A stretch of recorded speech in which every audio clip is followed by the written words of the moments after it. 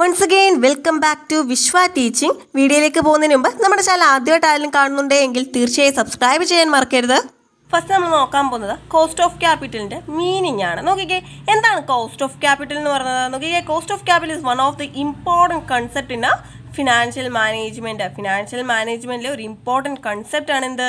Cost of capital എന്ന് പറയുന്നത് അല്ലേ? നമുക്ക് അതായത് ഫിനാൻസിങ്ങിനെയും ഇൻവെസ്റ്റ്മെന്റിനെയും അതുപോലെ തന്നെ ഡിവിഡന്റിനെ ഒക്കെ സംബന്ധിക്കുന്ന ഇമ്പോർട്ടന്റ് ഡി മാനേജർ ഡിസിഷൻസ് ഒക്കെ എടുക്കാൻ നമുക്ക് ആവശ്യമായിട്ടുള്ള ഒരു ഇമ്പോർട്ടന്റ് ഇൻപുട്ടാണ് എന്തെന്ന് പറയുന്നത് ഈ ഒരു കോസ്റ്റ് ഓഫ് ക്യാപിറ്റൽ എന്ന് പറയുന്നത് അല്ലേ?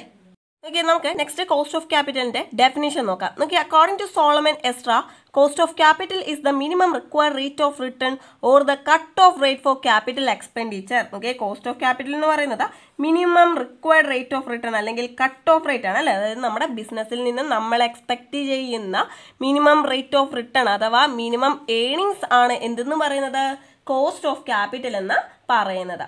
അപ്പോൾ ഒരു എക്സാമ്പിൾ വെച്ച് പറയാം. നമ്മൾ നിങ്ങൾക്ക് കുറച്ചുകൂടി കണക്ട് ചെയ്യാൻ പറ്റും. നോക്കിക്കേ ഇപ്പം നമ്മൾ നമ്മുടെ ബിസിനസ് ആവശ്യത്തിന് വേണ്ടി നമ്മൾ ഒരു ഒരു ലക്ഷം രൂപ നമ്മൾ ബാങ്കിൽ നിന്നോ മറ്റ് ഫിനാൻഷ്യൽ ഇൻസ്റ്റിറ്റ്യൂഷൻസിൽ നിന്നോ ലോൺ എടുത്തു എന്ന് വിചാരിക്കുക. എത്ര രൂപയാണ്? ഒരു ലക്ഷം രൂപ. ഓക്കെ അപ്പോൾ നമുക്ക് ചുമ്മാ ആരും പൈസ തരത്തില്ലല്ലോ. അവർ ഉറപ്പായിട്ട് ഒരു പലിശ നിരക്ക് ഇൻട്രസ്റ്റ് റേറ്റ് പറയല്ലേ ഇപ്പോൾ ഈ ഒരു ഇതിൽ ഒരു ലക്ഷം രൂപ നമ്മൾ എടുത്തു എന്ന് പറഞ്ഞു.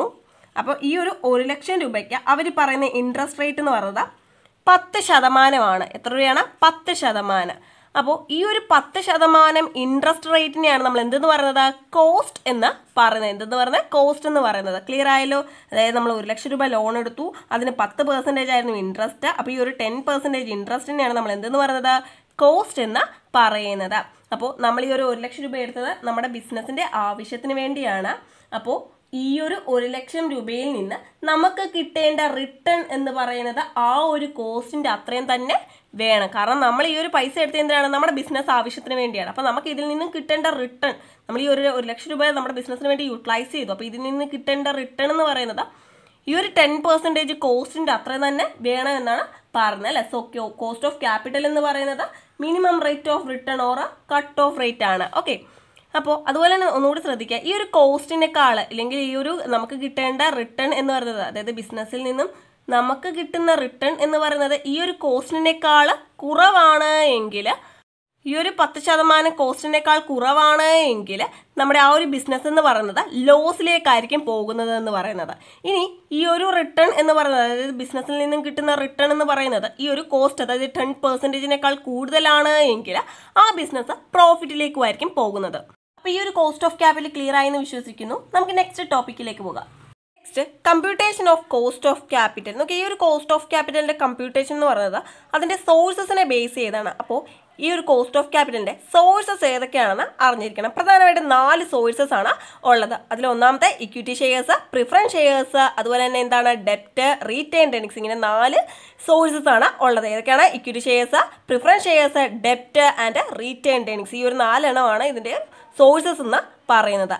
ഓക്കെ എന്താണ് കോസ്റ്റ് ഓഫ് ഡെറ്റ് എന്ന് പറയുന്നത്? നോക്കിക്കേ ഈ ഒരു ഡെറ്റ് എന്ന് പറയുന്നത് ഡിബെഞ്ചറോ ബോണ്ടോ അല്ലെങ്കിൽ ലോങ് ടേം ലോണോ ഒക്കെ ആവാം അല്ലേ? അപ്പൊ നോക്കിയേ കോസ്റ്റ് ഓഫ് ഡെറ്റ് എന്താണെന്ന്? Cost of debt means the rate of return expected by the lender and it is normally fixed debt can be perpetual or redeemable debt and redeemable ഡെപ്റ്റ് അപ്പൊ ഇതൊന്നുമില്ല. ഈ ഒരു കോസ്റ്റ് ഓഫ് ഡെറ്റ് എന്ന് പറയുന്നത് interest ആണ്. എന്താണ്? Interest ആണ് ഈ ഒരു കോസ്റ്റ് ഓഫ് ഡെറ്റ് എന്ന് പറയുന്നത്. അപ്പോൾ ഈ ഒരു കോസ്റ്റ് ഓഫ് ഡെപ്റ്റിനെ നമുക്ക് രണ്ടായിട്ട് തിരിക്കാം. റെഡീമബിൾ ഡെപ്റ്റ് എന്നും ഇറഡീമബിൾ ഡെപ്റ്റ് എന്നും. ഈ ഒരു ഇറഡീമബിൾ ഡെപ്റ്റിന്റെ മറ്റൊരു പേരാണ് പെർപെക്ച്വൽ എന്താണ്? പെർപെക്ച്വൽ ഡെപ്റ്റ് എന്നുള്ളത്. നോക്കി എന്താണ് ഇറഡീമബിൾ ഡെപ്റ്റ് എന്ന് പറയുന്നത്? അല്ലെങ്കിൽ പെർപെക്ച്വൽ ഡെപ്റ്റ് എന്ന് പറയുന്നത്. നോക്കിക്കേ irredeemable ഡെപ്റ്റ് means the ഡെപ്റ്റ് which is known repayable during the life time of the company നോക്കിക്കേ അതായത് കമ്പനിയുടെ ലൈഫ് ടൈമിൽ ആ ഒരു ഡെറ്റ് അഥവാ ലോൺ എന്ന് പറയുന്നത് റീപേ ചെയ്യാൻ സാധിക്കത്തില്ല അല്ലേ? അതുപോലെ തന്നെ എന്താണ് ഡെറ്റിന്റെ കാലാവധി ഇവിടെ സ്പെസിഫൈ ചെയ്യത്തില്ല ആ ഒരു മച്യൂരിറ്റി പീരീഡ് ഇവിടെ സ്പെസിഫൈ ചെയ്യത്തില്ല. അതുപോലെ തന്നെ കമ്പനി എന്ന് പറയുന്നത് ഇതിന്റെ ഇൻട്രസ്റ്റ് പേ ചെയ്യാൻ മാത്രമായിരിക്കും ലയബിൾ ആയിരിക്കുന്നത്. അപ്പോൾ കമ്പനിയുടെ ലൈഫ് ടൈമിലെ ഇത്തരത്തിലുള്ള ഡെപ്റ്റുകളോ അല്ലെങ്കിൽ ലോണുകളോ ഒന്നും തന്നെ എന്ത് ചെയ്യത്തില്ല റീപേ ചെയ്യാൻ പറ്റത്തില്ല. അതായത് നമുക്ക് റെഡീം ചെയ്യാൻ സാധിക്കത്തില്ല അല്ലേ? ഒരു പെർപെക്ച്വൽ എന്നതുകൊണ്ട് ഉദ്ദേശിക്കുന്നത് നീണ്ടു നിൽക്കുന്നത് എന്നൊക്കെയുള്ള മീനിങ് ആണ്. കാരണം എന്താണ്? ഇത് ഒരു ലോങ് ടൈം തന്നെയാണ് അല്ലേ? അതായത് കമ്പനിയുടെ ലൈഫ് ടൈം വരെ എന്ന് പറയുമ്പോൾ ഒരു ലോങ് ടൈം പ്രോസസ്സാണ് അല്ലേ? നെക്സ്റ്റ് ഓക്കെ എന്താണ് റെഡീമബിൾ ഡെറ്റ് നോക്കിക്കേ? Debt which is repayable during the life time of a company is called redeemable debt നമ്മൾ ആ ഇറെഡീമബിൾ ഡെറ്റിൽ പഠിച്ച നേരെ ഓപ്പോസിറ്റ് ആണ് ഇത് അല്ലേ? നോക്കി അതായത് കമ്പനിയുടെ ലൈഫ് ടൈമിൽ തന്നെ റീപേ ചെയ്യുന്ന ഡെപ്റ്റുകളെയാണ് നമ്മൾ എന്തെന്ന് പറയുന്നത്? റെഡീമബിൾ ഡെപ്റ്റ് എന്ന് പറയുന്നത് അല്ലേ? ഇതിന്റെ മച്യൂരിറ്റി പീരീഡ് അല്ലെങ്കിൽ റിഡംഷൻ വാല്യൂ ഒക്കെ തന്നെ എന്ത് തന്നെ ചെയ്യും? അത് ഇഷ്യൂ ചെയ്യുന്ന സമയത്ത് തന്നെ എന്ത് ചെയ്തിരിക്കും? ഫിക്സ് ചെയ്തിരിക്കും അതായത് ഇതിനൊരു സ്പെസിഫൈഡ് പീരീഡ് മെൻഷൻ ചെയ്തിരിക്കും. അല്ലെങ്കിൽ ഒന്നെങ്കിൽ അഞ്ച് വർഷം എന്നോ അല്ലെങ്കിൽ ഒരു പത്ത് വർഷം എന്നോ ആ ഒരു പീരീഡ് ഇവിടെ എന്ത് ചെയ്തിരിക്കും? മെൻഷൻ ചെയ്തിരിക്കും. നമുക്ക് ഇതിന്റെ ഇക്വേഷൻ സൈഡിലേക്ക് പോവാം. നമ്മൾ ഓൾറെഡി പറഞ്ഞു കോസ്റ്റ് ഓഫ് ഡെപ്റ്റ് എന്ന് പറയുന്ന രണ്ട് തരത്തിലാണ് ഇറെഡീമബിൾ ഡെപ്റ്റ് എന്നും റെഡീമബിൾ ഡെപ്റ്റ് എന്നും. നോക്കിയേ ഈ ഒരു ഇറെഡീമബിൾ ഡെപ്റ്റിനെ ഇക്വേഷന് വേണ്ടി നമ്മൾ എഗെയിൻ രണ്ടായിട്ട് തിരിക്കുന്നുണ്ട്. ബിഫോർ ടാക്സ് എന്നും ആഫ്റ്റർ ടാക്സ് എന്നും. ടാക്സിന് മുമ്പും ടാക്സിന് ശേഷവും. നോക്കിയാൽ K D before tax K D എന്ന് പറയുമ്പോൾ എന്താണ്? നോക്കിയാൽ കെ ഡി എന്ന് പറയുന്നത് കോസ്റ്റ് ഓഫ് ഡെപ്റ്റ് ആണ്. എന്താണ്? കോസ്റ്റ് ഓഫ് ഡെപ്റ്റ് അപ്പോൾ ഈ ഒരു ടാക്സിന് മുമ്പുള്ള കോസ്റ്റ് ഓഫ് ഡെപ്റ്റ് കണ്ടുപിടിക്കുന്നതിനുള്ള ഇക്വേഷൻ ആണ് ഈ ഒരു കൊടുത്തിരിക്കുന്നത്. നോക്കിയാൽ I divide by N P into hundred അപ്പോൾ എന്താണ് ഈ ഒരു ഐ എന്ന് പറയുന്നത്? ഐ എന്ന് പറയുന്നത് ഇൻട്രസ്റ്റ് ആണ്. എന്താണ്? പലിശയാണ് അല്ലെ? ഇൻട്രസ്റ്റ് ആണ് ഐ എന്ന് പറയുന്നത്. ഇതൊക്കെ നെക്സ്റ്റ് എൻ പി ആണ്. എൻ പി എന്ന് പറയുന്നത് എന്താണ്? നെറ്റ് പ്രൊസീഡ്സ് അപ്പോൾ ഈ ഒരു നെറ്റ് പ്രൊസീഡ്സ് കാണുന്നതിന്റെ ഒരു ഇക്വേഷൻ ഒക്കെ ഉണ്ട്. അതായത് എന്താണ് face value plus or minus premium or discount minus flotation cost എന്നാണ് അതിന്റെ ഒരു ഇക്വേഷൻ വരുന്നത്. അതായത് നമ്മുടെ ഫേസ് വാല്യൂവിൽ നിന്നും എന്ത് ചെയ്യുക? ആ ഒരു പ്രീമിയം ആണ് എങ്കിൽ ഇപ്പോൾ നമ്മളൊരു ക്വസ്റ്റ്യനിൽ സ്പെസിഫൈ ചെയ്ത് പറയും. പ്രീമിയത്തിലാണോ അല്ലെങ്കിൽ ഡിസ്കൗണ്ടിലാണോ അല്ലെങ്കിൽ പാറിലാണോ അത് ഒക്കെ നമ്മളോട് ക്വസ്റ്റ്യനിൽ കൃത്യമായിട്ട് സ്പെസിഫൈ ചെയ്തിരിക്കും. ഇപ്പോൾ പ്രീമിയത്തിലാണ് എന്ന് ക്വസ്റ്റ്യനിൽ സ്പെസിഫൈ ചെയ്യുകയാണ് എങ്കിൽ നമ്മൾ എന്ത് ചെയ്യണം? പ്രീമിയത്തിലാണ് എന്ന് പറയുകയാണെങ്കിൽ ഒന്നും നോക്കണ്ട. അത് എന്ത് ചെയ്യുക? ഫേസ് വാല്യൂവിനോട് കൂടി ആഡ് ചെയ്ത് കാണിക്കുക കൂട്ടി കാണിക്കുക ഓക്കെ ഇനി ഡിസ്കൗണ്ട് എന്ന് പറയുകയാണെങ്കിലോ നേരെ തിരിച്ച് എന്ത് ചെയ്യുക? കുറച്ച് കാണിക്കുക. ഓക്കെ ക്ലിയർ ആയല്ലോ? അപ്പോൾ ഫ്ലോട്ടേഷൻ കോസ്റ്റും ക്വസ്റ്റ്യൻ സ്പെസിഫൈ ചെയ്യുകയാണെങ്കിൽ കുറച്ച് കാണിക്കുകയാണ്. അപ്പോൾ അങ്ങനെയാണ് ഈ ഒരു നെറ്റ് പ്രോസിറ്റ്സ് അതൊക്കെ ക്വസ്റ്റ്യൻ നമ്മളൊരു ക്വസ്റ്റ്യൻ ചെയ്യുമ്പോൾ നമ്മൾ ഡിസ്കസ് ചെയ്ത് പോകാം. ഇപ്പോൾ ഇത്ര നോക്കുക ഈ ഒരു ഇക്വേഷൻ ജസ്റ്റ് നോക്കുക I divide by N P into hundred ആണ് എന്തെന്ന് പറയുന്നത്? നമ്മുടെ കോസ്റ്റ് ഓഫ് ഡെപ്റ്റ് ബിഫോർ ടാക്സ് എന്ന് പറയുന്നത്. ഇനി നോക്കിയ കോസ്റ്റ് ഓഫ് ഡെപ്റ്റ് ആഫ്റ്റർ ടാക്സ് ടാക്സിന് ശേഷം നമ്മൾ എങ്ങനെയാണ് കോസ്റ്റ് ഓഫ് ഡെപ്റ്റ് കാൽക്കുലേറ്റ് ചെയ്യുന്നത്? ഇതേ സെയിം ഇക്വേഷനാണ് ചെറിയൊരു ചേഞ്ചേ ഉള്ളൂ. അപ്പോൾ ഈ ഒരു ഇക്വേഷൻ സൂക്ഷിച്ച് നോക്കി എന്താണ് ഡിഫറൻസ് എന്ന് പറയാൻ പറ്റുമോ നോക്കിയാൽ ഈ ഒരു വൺ മൈനസ് ടി അഡീഷണൽ വന്നല്ലേ ബാക്കിയൊക്കെ സെയിം ആണ്. Okay I divide by N P into hundred ഉണ്ട്. അത് അതെല്ലാം അതുപോലെ തന്നെ ഉണ്ട്.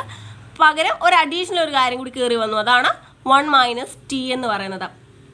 അപ്പോൾ ഇവിടെ ടാക്സ് ഇവിടെയാണ് വരുന്നത്. അതായത് ടാക്സ് കാൽക്കുലേറ്റ് ചെയ്യുന്നത്. ആ ഒരു ടാക്സിന്റെ കാൽക്കുലേഷൻസ് ഒക്കെ നമ്മൾ ഇവിടെയാണ് വരുന്നത്. നോക്കിയാൽ ഐ അതായത് വൺ ഒന്നിൽ നിന്ന് നമ്മൾ എന്ത് ചെയ്യുകയാണ് ടാക്സ് കുറച്ച് കാണിക്കുകയാണ്. അപ്പോൾ നോക്കി ഇക്വേഷൻ പറയുന്നത് I divide by N P into one minus T into hundred എന്ന് പറയുന്നതാണ് അതായത് ഐ എന്ന് പറഞ്ഞത് ഇൻട്രസ്റ്റ് എൻ പി എന്ന് പറഞ്ഞത് നെറ്റ് പ്രൊസീഡ്സ് ആണ്. ടി ഫോർ ടാക്സ് ആണ്. ഓക്കെ നെക്സ്റ്റ് റെഡീമബിൾ ഡെപ്റ്റ് ആണ്. അത് നമ്മൾ നേരത്തെ പറഞ്ഞ പോലെ തന്നെ റെഡീമബിൾ ഡെപ്റ്റിന്റെ കേസ് പറഞ്ഞ പോലെ തന്നെ ബിഫോർ ടാക്സും അതുപോലെ തന്നെ ആഫ്റ്റർ ടാക്സും കെ ഡി എന്താണെന്ന് ഓർമ്മയുണ്ടല്ലോ? കെ ഡി എന്താണ്? കോസ്റ്റ് ഓഫ് ഡെപ്റ്റ് ആണ്. നോക്കിക്കേ.